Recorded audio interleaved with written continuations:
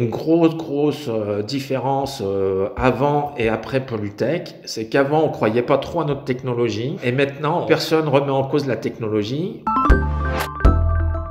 On dit qu'on manque de ressources, mais en fait on a des ressources qui sont juste gigantesques, qui sont nos déchets. Toute l'idée de Cyclade part de là.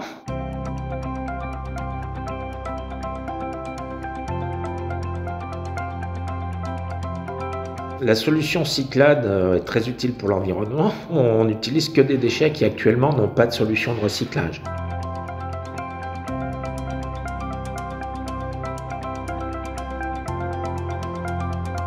On a des bilans environnementaux juste magnifiques et euh, nos produits qui sortent sont en général moins chers que les matières euh, vierges du marché.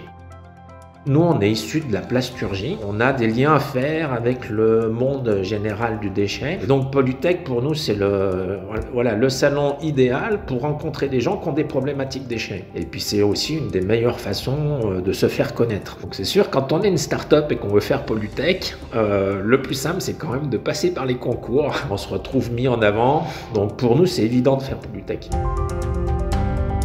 ce qui a changé euh, pour Cyclade, déjà, sur le salon, ça a changé beaucoup de choses, puisqu'on a eu, euh, je sais plus, quelque chose comme 200 contacts. Et ce que ça a changé, en fait, euh, principalement pour nous, c'est de la visibilité du contact client? On avait déjà des clients en contact sur lesquels ça les a rassurés. Et une grosse, grosse différence avant et après Polytech, c'est qu'avant, on croyait pas trop à notre technologie. Et maintenant, on, personne remet en cause la technologie, l'idée de recycler des déchets par des déchets.